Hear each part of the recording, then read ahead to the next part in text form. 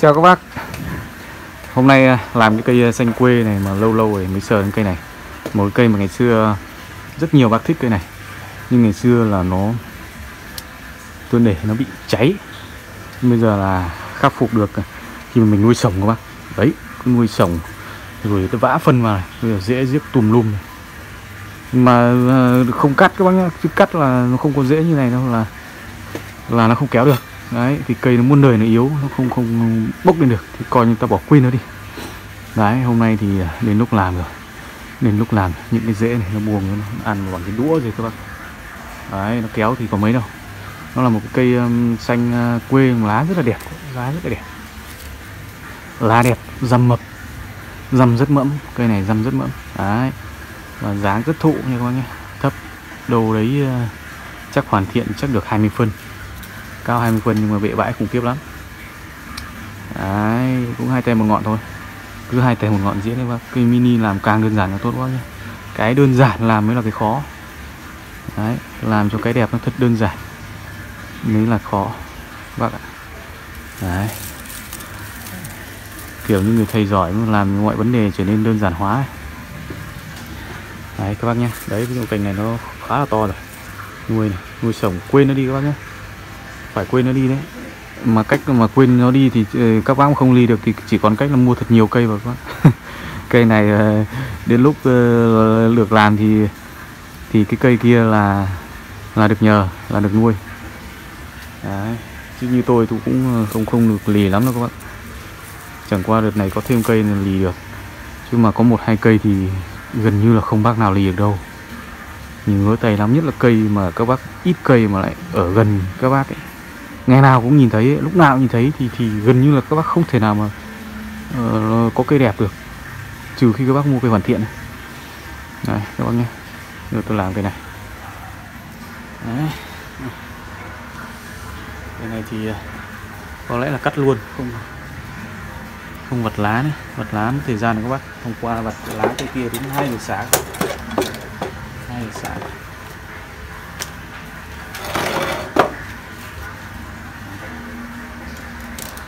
Sơ qua một tí sơ qua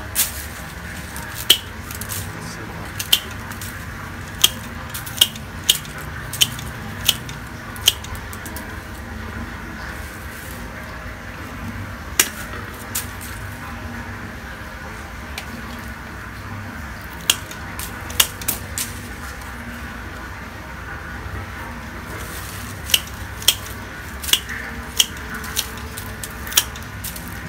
lá nó đẹp mà nó nó có gió quá lá nó giòn nó dày.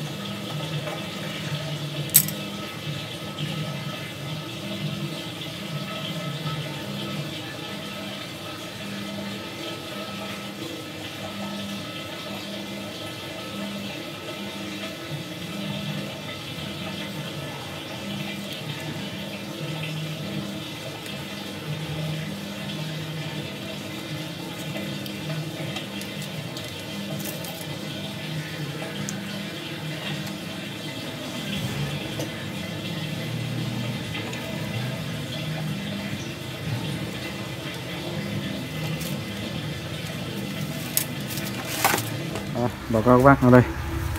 Một dòng xanh à, lá rất đẹp lá nhỏ xíu mà khi nó ổn định các bác khi nó ổn định lá nó như này này các bác này. Lá nó đây bé tí như cái trái tim này bé tí rất bé nha các bác. Đang nuôi sổng lá rất là bé rồi. Quay trở lại cây này thì ở dưới này bệ bãi nó rộng lắm nhưng mà thôi đang dễ cám nó nhiều với lại à, phân lợi quá. Con bơ rũ ra thì các bác cũng không nhìn thấy. Đại loại nó sẽ như chỗ này vâng là nếu theo dõi rồi thì thấy. Này chỗ này. Đấy. Úp toàn bộ cái phân này lên mà các bác. Đấy, nguyên cái thớt này là kín phân.